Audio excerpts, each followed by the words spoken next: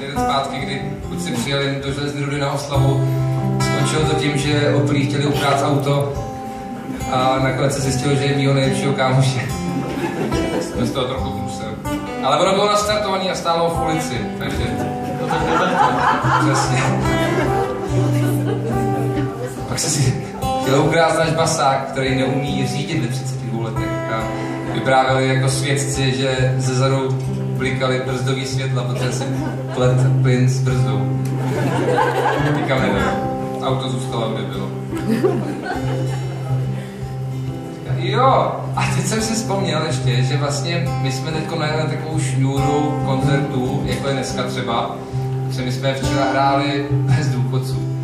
A taky byli všichni stíka. Takhle vypadají normálně. A, a naučili jsme se pro ně ještě jednu písničku, jak napadá. Chcete ji zahrát? Jo. Tak bacha. Když tak si skočte.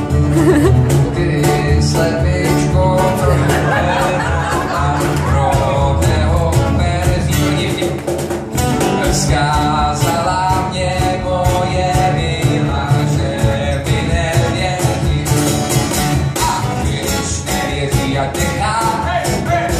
A já půjdu do světa, paráda, si budu namlouvat, že hezká děvčata.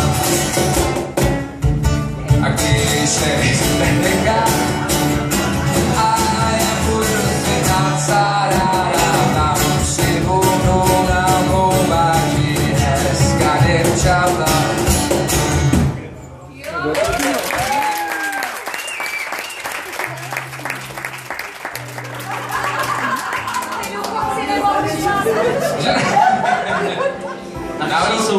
vyhrála paní, který byl 94. A tancovala rock and roll.